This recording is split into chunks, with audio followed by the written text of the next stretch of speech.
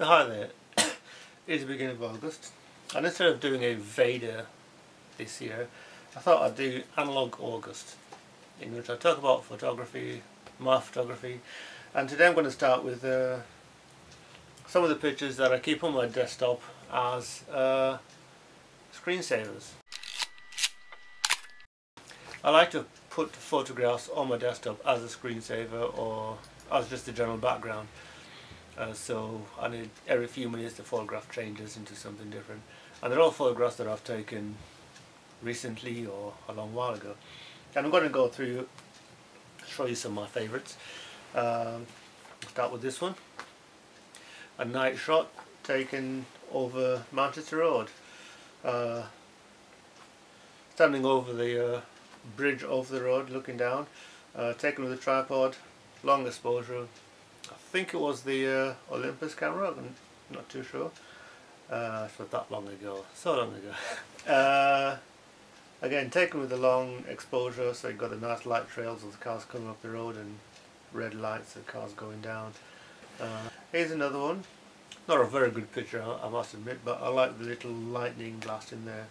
I'm sure if I scanned the film properly I could uh, make it look even better. But this is uh, again a photograph taken out the back window, at my bedroom window in my old house, uh, looking up, uh, looking across down at the lightning storm. Here's one of uh, Richard Dunn Sports Centre up there in Bradford, uh, Odsal. Again, this is a, a long exposure shot taken with uh, the Olympus, I believe. Uh, I really like how the greens came out in this photograph. Um, it's uh, nice and sharp and if you look at a big print of this you can really see the detail in the building there. Nice bit of architecture I guess. Here's another one. Again another long exposure photograph. Uh, I'm not sure how long it was because the camera was in automatic. Uh, I, I, was using an Olympus at the time uh, OM2 spot program. Or was it just an OM2 or spot program? I think it was a spot program. I don't think I ever owned an OM2 and uh, it had a auto exposure of up to 60 seconds I believe. So you could just leave was it 4 minutes? So it was a long exposure so you could just put it on the dark and just let it go. And uh, if you go to the place I took this photograph now this is the top of the road. Behind me there's the M606 from the M62 motorway coming into Bradford. And to the left and right of me is um, Mayo Avenue which is a dual carriageway going across top of Bradford or the bottom of Bradford. Looking down at that, right on that picture there, it's uh, the road generally stopped there because I think the plan, the original plan was all those decades ago to build a road going straight down to middle Bradford, but they just stopped it there. So behind me there's a large roundabout, still there now, but now that space there, there's now a, a hotel just to the left of that area there, and uh, and all the uh, and down there the built of the roads going onto the motorway and and access to the hotel as well. And the McDonald's just across the road, off picture. Anyway, another uh, I like this picture because you can you're looking down at the bright lights into of Bradford. How many times have people told you that Bradford is a city of bright lights? Here's a daylight photograph. I particularly like this one because uh, it's one of those things where I looked over the hedge and there's just a cat sitting there staring straight back at me. And uh, it's one of those little opportunities which if you don't take it and take the picture right there then you know you're never going to see it again. So I was lucky I guess that I had my camera with me. This is one taken from a bus in Bradford Interchange. Uh, Bradford Interchange at the time was a large great big sprawling building with roads in it as you can see there. So what you can see there that was uh, let me see standard A. Went all the way up to E so imagine that five times. Uh, it's not there it's not like that anymore. Almost all of that has been knocked down and rebuilt into something smaller neater less brilliant but you know it's, it is what it is. I like the way this came out. I was on a bus upstairs and I like the juxtaposition the bus parked there the bus behind it coming along and the man just walking across the road in his long coat. I was trying to do some macro work at the time, in fact taking pictures of bees buzzing around the little flowers, and uh, I don't know if I can't remember if I got any other decent shots, but this is one that did stand out for me as being pretty interesting uh, as one I took. Uh, shallow depth of field, got some leaves in focus there, bee just going out of focus a bit, but in focus enough that you can recognize what it is.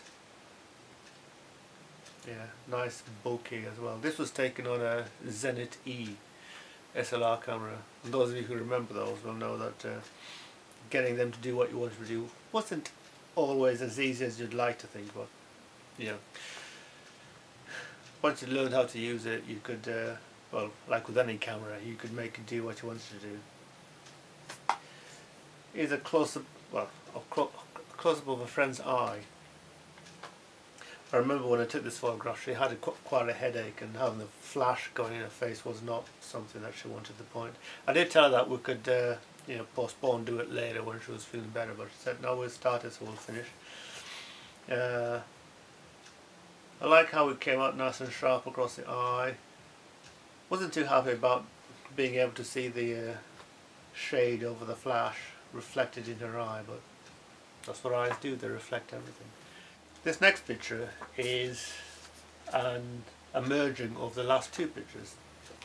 Uh, when, as these pictures are changing on the screen, I once uh, just took a screen grab or something else and uh, a picture very similar to this turned up. So basically I'd taken a screen grab when the images were changing. So I decided to drop these two photographs into Photoshop and just merge them myself. And uh, I quite like the result of this. Yeah. What do you think of that picture? Spooky, eerie, or just art? Here's a photograph of a friend of mine. Uh, one of the first photographs I took when I got a new, well not new, second-hand uh, Olympus 50mm f1.4 lens, large aperture lens, very nice for portraits. And uh, I remember asking her to smile when I took this picture because the first one I took she was wasn't smiling and she was busy doing something and I said and she just looked at me and I took a picture and then I said go oh go on smile which she did and it ended up with this lovely portrait of a friend. Another one taken at Bradford Interchange at 1800 hours. 1800 hours 53 the clock there. Um, this is in the train station part of the uh, of the uh, interchange. And was just raining and I like the atmospheric look of this picture. Which is another reason why I keep it on the desktop. Here's here's an interesting one. This is a uh, not much of a big story behind this photograph but I was on the bus and that's Parkside Road there on the pavement houses, terrace houses and this fat dog lying on the pavement asleep. And it did that almost every day, particularly in the summer. Uh, you could, uh, in the daytime you come across, you see the dog just lying there asleep or whatever, ignoring everybody who went past it. And then at, uh, as, it, as uh, the day turned to evening, sun setting, it would get up and waddle up into the house. Here's a photograph of a friend of mine, circus performer called uh, the, uh, the circus act is called Arabesque. I think this is in the middle of Bradford, uh, Bradford uh, Festival. Um, can't remember how many years back, it's back nearly 10 years now. And uh, they were just goofing around at the time and uh, she just went and made a kiss at her while I made a face and while she was making a face and uh, I just took the snap and uh, ended up with a little picture like that. It is cropped in a little bit but uh, I think it works rather well. And I'm going to finish with this picture here of Bradford city centre. At night, the buses going across the uh, road there. Must have been quite busy that day because there's a lot of cars going up the road. Th this would have been around 8 in the evening. So, and it's dark, so it, it had been raining because you can see the road's wet. And uh, as it was long exposure, using automatic exposure. Uh, all, all the moving vehicles, particularly the buses there, are blurred. There's like three of them going across. And uh, I like the way this picture came out. Yeah, so if you know Bradford, you you may recognise the building on the the building there as being the uh, uh, St George's Hall, concert hall, etc. And just to the right there, there's the Hilton Hotel. The Hilton Hotel. And it's a big hotel. Don't think it's Hilton Hotel. Anyway, uh, this picture was taken on a bridge going across the road there. The bridge is not there anymore. Knocked down, probably to make way for the big bus stop they built on the edge, on the side of the road there.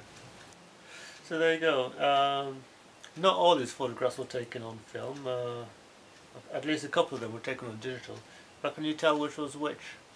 If you can tell which photographs were taken on digital camera, then uh, make a note in, uh, in the space below, and uh, I'll tell you if you're right tomorrow. So until tomorrow, it's Analog August, so take care.